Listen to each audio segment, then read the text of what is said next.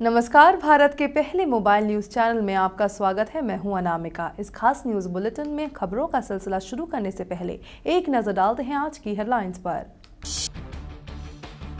ISIS के top leader आतंकी हाफिज सईद के मौत की खबर। अमेरिकी ड्रोन हमले में मौत की खबर।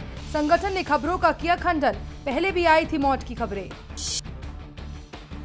पाकिस्तान के गिलगिट बालिस्तान में विरोध प्रदर्शन तेज। लगे पाकिस्तान वापस जाओ के नारे, भारत से मानवाधिकार हनन के मामले में संयुक्त राष्ट्र में उठाने की मांग।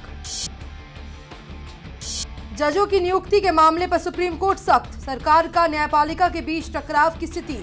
केंद्र से पूछा, किसने रोके रखी है कोलिजियम की सिफारिश? क्यों रुकी है जजों की नियुक्तियाँ? ब्रिटेन ने प्रसिद्ध सरोद वादक उस्ताद अमजद अली खां का वीज़ा आवेदन ठुकराया। उस्ताद ने ऊँचा योग के रवैये पर जताई हैरानी। विदेश मंत्री सुषमा स्वराज से मदद की लगाई गुहार। और रियो ओलंपिक में सानिया और बोपन्ना की जोड़ी मिक्स और डबल्स के सेमीफाइनल में। ब्रिटिश जोड़ी को दी शिकस्त, पदक की उम्मीद बढ़ी। अमेरिकी रक्षा मुख्यालय पेंटागन से आईएसआईएस ग्रुप के टॉप लीडर आतंकी हाफिज सईद खान की मौत की खबर आ रही है।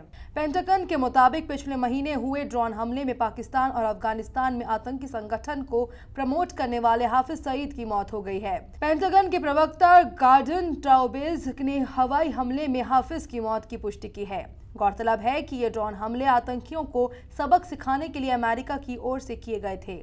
वही इस्लामिक स्टेट का कहना है कि हाफिज सईद खान ज़िंदा है और ड्रोन हमले में एक अन्य आईएस के वरिष्ठ आतंकी की मौत हुई है। गौरतलब है कि इससे पहले भी हाफिज की मौत की खबरें आ चुकी है। पाकिस्तान के गिलगिट बालिस्तान में विरोध प्रदर्शन तेज हो गया है, जहाँ प्रदर्शनकारियों ने पाकिस्तान वापस जाओ के नारे लगाए। साथ ही बाबा जन की रिहाई की मांग की है। बाबा जन को पाकिस्तान की सुप्रीम कोर्ट ने 40 साल की सजा सुनाई है। लोगों की आवाज़ दबाने के लिए सेना और पुलिस बल का जमकर इस्तेमाल किया जा रहा है। प्रदर्शनकारियों का कहना है कि ना तो उनका विकास हो रहा है और ना ही युवाओं के पास रोज़गार है। युवाओं के पास आगे बढ़ने का कोई रास्ता भी नहीं है। बलूचिस्तान में पाकिस्तान की ज्यादतियों से तंग आने के बाद मानवाधिकार कार्यकर्ता मरीर ने ट्वीट किया है कि भारत को इस समस्या से निपटने में मदद करनी चाहिए। बलोच नेता ने कहा है, भारत को मानवाधिकार हनन का ये मामला संयुक्त राष्ट्र में उठाना चाहिए। पाकिस्तान के एक शीर्ष राजनयिक ने कहा कि उनका देश परमाणु परीक्षण पर द्विपक्षीय रोक को लेकर भारत के साथ समझौता करने को तैयार है। प्रधानमंत्री के विदेश मामलों के सलाहकार सरताज अज़ीज़ ने कहा, हमने आगे के परीक्षणों को लेकर एक पक्षीय पाबंदी घोषित की है। पाकिस्तान अपने एक पक्षीय रोख को भारत के साथ द्विपक्षीय समझौते में बदलने पर विचार करने को तैयार है। पिछले सप्ताह हुए राजदूतों के सम्मेलन के बारे में मीडिया को बताते हुए अज़ीज़ ने कहा कि बैठक में ये बात सामने आई कि पाकिस्तान निरंतर रूप से सीटीबीटी का समर्थन करता रहा है और वर्ष उन्नीस सौ छियानवे में संयुक्त राष्ट्र महासभा द्वारा इसे स्वीकार किए जाने के वक्त भी इसके पक्ष में मत दिया था। हाईकोर्ट और सुप्रीम कोर्ट में जजों की नियुक्तियों के मामले पर न्यायपालिका और सरकार के बीच टकराव अब और तेज हो गया है। शुक्रवार को देश के मुख्य न्यायाधीश टी एस ठाकुर समेत तीन जजों की बेंच ने सरकार से पूछा कि कॉलेजियम की सिफारिश के बावजूद अब तक पचहत्तर जजों की नियुक्तियाँ क्यों नहीं हुई है?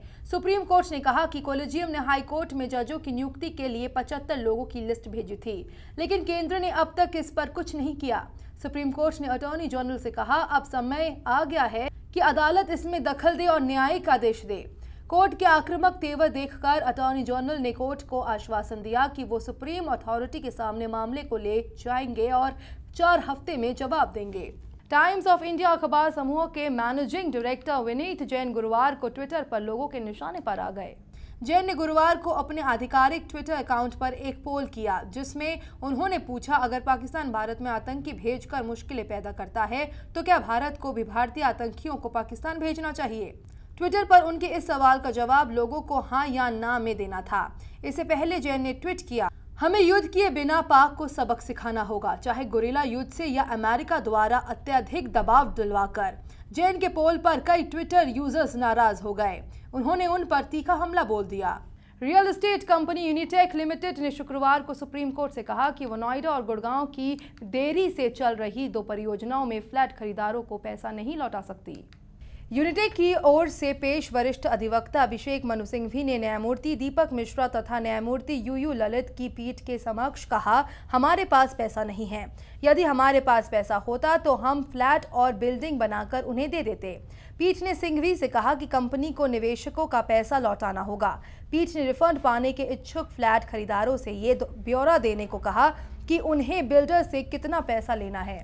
बीसीसीआई को बड़े सुधारवादी कदम लागू करने के लिए अब उच्चतम न्यायालय द्वारा नियुक्त लोधा समिति की समय सीमा का सामना करना पड़ रहा है। तब दुनिया के सबसे अमीर क्रिकेट बोर्ड के अध्यक्ष अनुराग ठाकुर ने कहा कि जिन लोगों ने खेल को नहीं खेला, वे इसका संचालन करने का प्रयास कर रहे हैं। यहाँ पीएचडी चैम्बर द्वारा आयोजित कार्यक्रम में मुख्य अतिथि के तौर पर पहुँचे ठाकुर ने कहा, जिन लोगों ने कभी खेल नहीं खेला, वे बोर्ड का संचालन करने का प्रयास कर रहे हैं। बीसीसीआई की जड़ें काटने का प्रयास किया जा रहा है। उच्चतम न्यायालय ने बीसीसीआई में आमूलचूल बदलाव की लोढ़ा समिति की अधिकांश सिफारिशों को स्वीकार कर लिया था। रियो ओलंपिक में लंबे समय बाद भारत के लिए बेहद अच्छी खबर आई है। टेनिस के मिक्स डबल्स मुकाबलों में सानिया मिर्ज़ा और रोहन बोपन्ना की जोड़ी सेमीफाइनल में पहुँच गई है। क्वार्टर फाइनल के एक अहम मुकाबले में सानिया और बोपन्ना की जोड़ी ने एंडी मरे और हिथर वॉटसन की जोड़ी को एक तरफा मुकाबले में शिकस्त दी। सानिया मिर्ज़ा और रोहन बोपन्ना की भारतीय जोड़ी ने हितर वॉटसन और एंडी मरे की ब्रिटिश जोड़ी को छह चार छह चार से हराकर मिक्स डबल्स के सेमीफाइनल में जगह बना ली है। इस जीत के साथ ही भारत की टेनिस में पदक की उम्मीद भी बढ़ गई है। अपने पहले मुकाबले में सानिया और बोपन्ना ने ऑस्ट्रेलियाई जोड़ी सामंथा स्टोसुर और जॉनथान पियर्स को मात दी थी। इस न्यूज़ बुलेटिन में फ़िलहाल इतना ही। ताज़ा तरीन खबरों को जानने के लिए जुड़े रही मेट्रो टीवी से। नमस्कार.